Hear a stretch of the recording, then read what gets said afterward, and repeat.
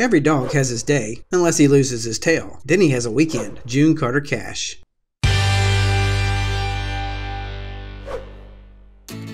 Welcome to Animal Facts, the channel where we discuss facts about animals. Would you like to know how to naturally get rid of your dog's bad breath? Today, let's discover 10 clever life hacks for you and your foul mouth, I mean, beloved friend. Number 10.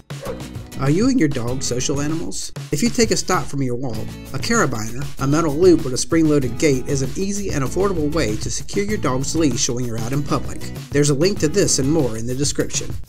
Number 9. Does your dog eat too fast? To slow her down, place a ball in the middle of her bowl for her to eat around. If your clever dog comes up with a way to remove the ball every time, there are special bowls that you can purchase which have raised areas in the middle that your dog has to eat around. Alternatively, you can feed your dog from a muffin pan. Number 8. If your vacuum cleaner sucks at picking up pet hair, a squeegee can work wonders. Just run the squeegee along the carpet and watch the hair come right up. To make the job less backbreaking, attach an old mop handle to a window squeegee and use the rubber blades to rake up the pet hair.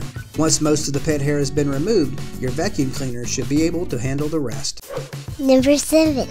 For an easy dog treat on hot days, cut up apples, add low sodium chicken broth, and freeze in an ice cube tray. Your pooch will love this cold snack. Number 6. To remove pet hair from upholstery, dampen a rubber glove and run your gloved hand over it. Number 5. Can you smell your dog's breath before you see him coming? Sprinkle a little bit of fresh parsley in your dog's food to freshen up his breath. Number 4. If your dog doesn't like having his teeth brushed, squeeze some enzymatic dog toothpaste onto a Nylabone or a rope toy. Number 3. If your dog isn't feeling well, add some low sodium chicken broth to his drinking water.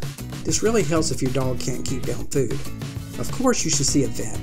Number 2. Use pillowcases to cover your dog's beds and mats. That way you can just slip the cases off and toss them in the wash. Number 1.